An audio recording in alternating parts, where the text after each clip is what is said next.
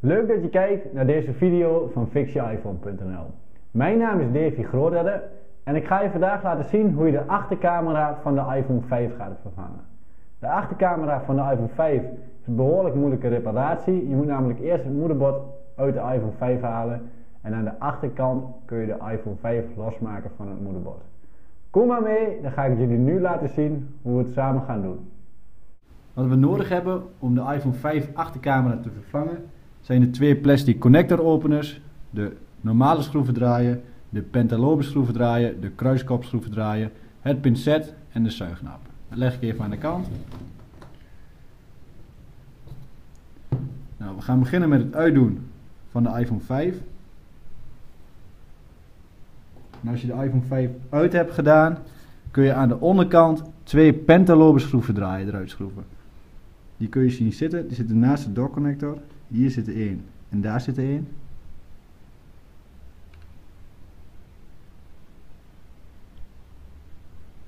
Op mijn website kun je een schroefmatje bekijken, die kun je uitprinten. Dan kun je de schroefjes opleggen. Zelf heb ik een magnetisch.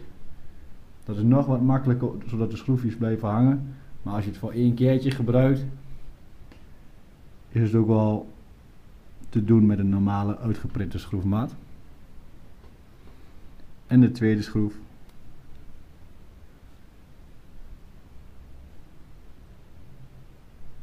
Nu heb ik de twee onderste pentalobe schroeven uit de iPhone 5 gedraaid. En nu gaan we het scherm verwijderen van de iPhone 5. Doe dit wel voorzichtig, want het LCD kan wel kapot gaan. Ik zet de zuignap zo dicht mogelijk bij de home knop. Die zit hier. En het scherm zit rechts boven vast. Als je kijkt naar de camera linksboven. Het moet wel met een beetje kracht. Ik gebruik de grotere plastic connector openen om het scherm ietsjes, als ik ruimte krijg, dat ik hem ertussen kan drukken. Je merkt dat hij wel aardig vast zit. Daar is hij.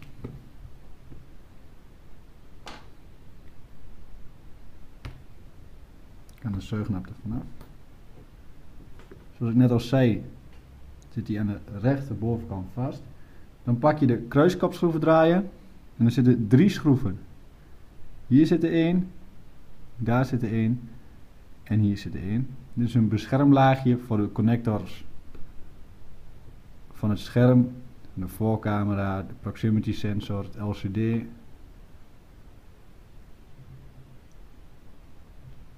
schroefjes leg je dan ook weer netjes op je schroefmat.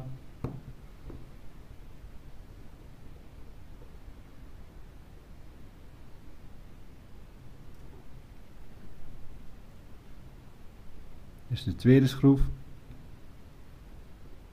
En schroef nummer 3.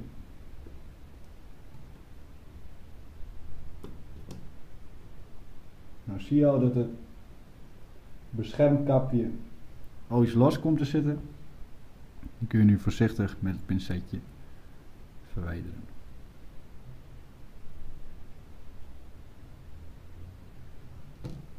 Nou, nu kunnen we het scherm van de iPhone 5 afhalen.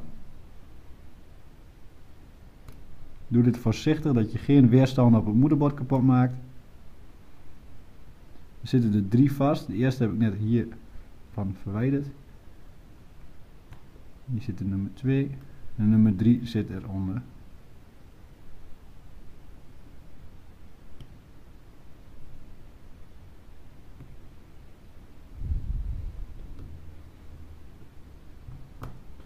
Zo. Nu heb ik het scherm van de iPhone 5 en we gaan de achtercamera vervangen, dus die zit hier.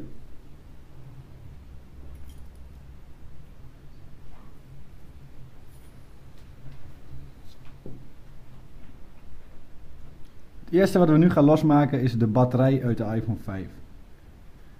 Het scherm leggen we dus eventjes aan de kant. Als we hier de batterij zien, zit de batterij achter deze beschermlaag vast. Het zit vast met twee schroeven en hier zit nog een derde schroef voor de dock connector. Die gaan we er alle drie vast uitdraaien.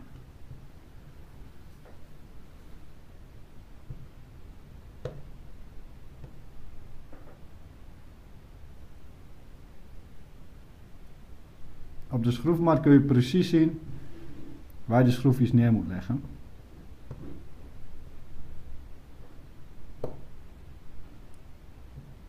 De tweede.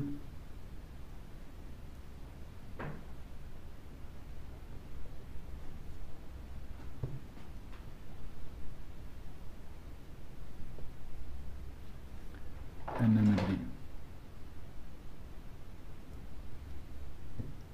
Nu kunnen we de twee kapjes voor de batterij verwijderen. En kunnen we de batterij uit de iPhone 5 gaan halen. Die zit op het moederbord, moederbord vast. Zorg dat je die voorzichtig losmaakt. Kom maar los. Die zit altijd de eerste keer vastgeplakt. Bij mij gaat hij al vrij simpel los. Maar als het voor jou de eerste keer, dan kan het ook zijn dat jouw batterij echt goed vast zit. Dan moet je hem langzaam maar zeker loswrikken uit het frame. En hier zien we de door connector kabel. Die loopt helemaal door naar onderen. Die gaan we losmaken.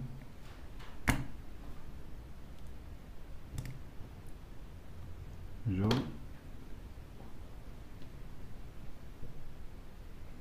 Hier zien we de kabel van de GSM-antenne lopen. Die kun je met de kleine plastic connector opener losmaken. Daar komt hij al.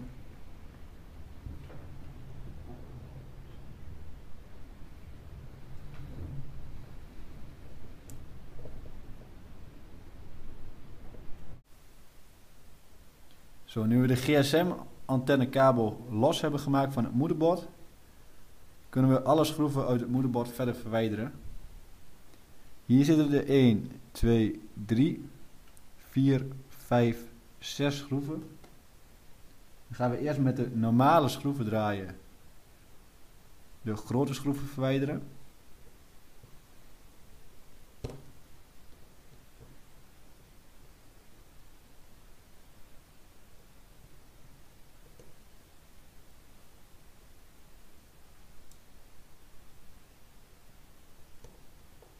Wees wel voorzichtig dat je niet doorslaat op het moederbord van de iPhone 5, zodat je geen beschadigingen maakt. Zorg altijd dat je rustig je tijd neemt bij een reparatie. En weet je altijd zeker dat je geen fouten gaat maken.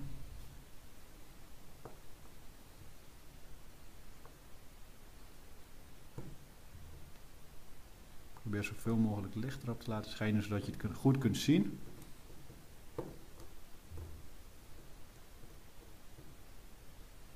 Deze is niet magnetisch omdat hij bij de speaker in de buurt zit. Daarvoor gebruiken we even het pincetje. Alle schroefjes leg ik nogmaals netjes weg op de schroefmaat.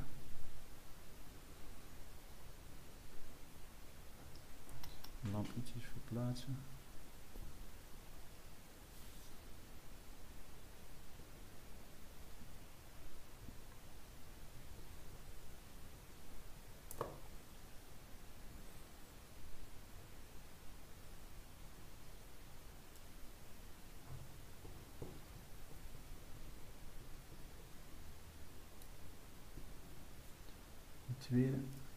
Deze kunnen we ook voorzichtig verwijderen met het pincetje.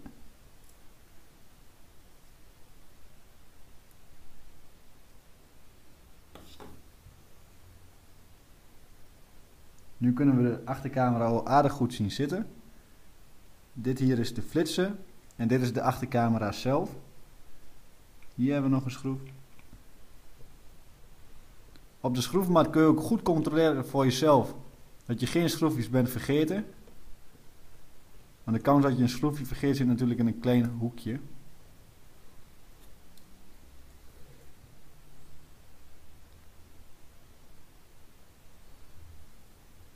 Nou, achter deze kabel zit nog een achtste schroef. Die kunnen we moeilijk bij.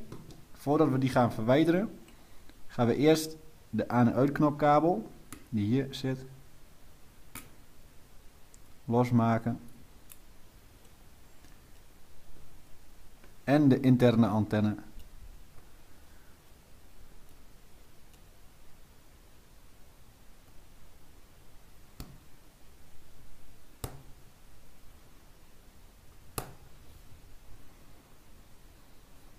Zodat je het goed kan zien.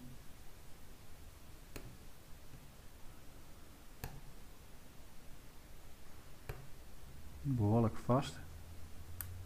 Zo, hebben we ze alle twee. Nu kunnen we ook goed bij de laatste schroef uit het moederbord.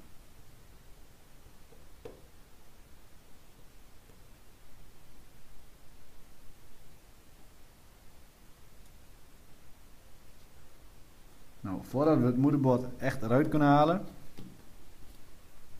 moeten we eerst de simkaart verwijderen.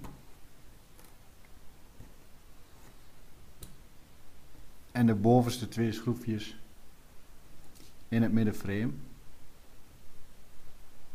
Die zitten hier alle twee naast elkaar.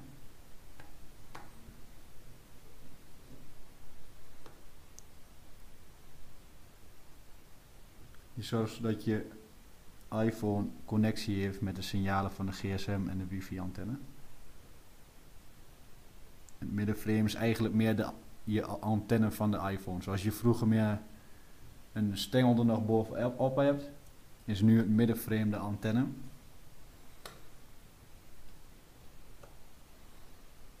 En nu kunnen we voorzichtig moederbord loshalen. Maar niet te grof, want aan de achterkant zit nog de wifi antenne vast. Die kunnen we hier mooi zien zitten.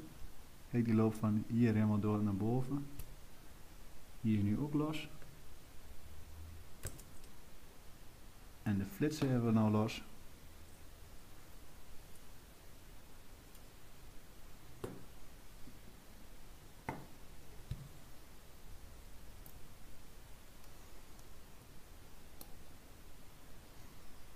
De houder van de flitsen is er bij mij in blijven zitten.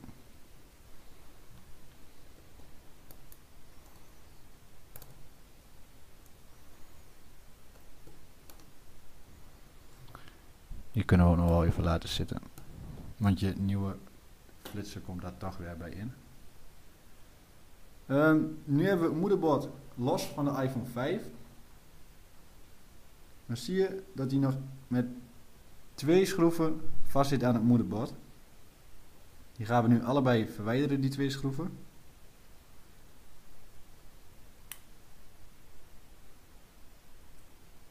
Dus één.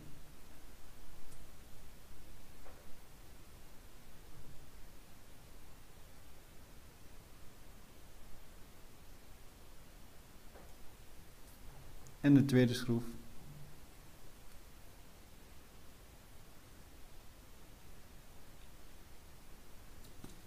Leg ik ook wel neer.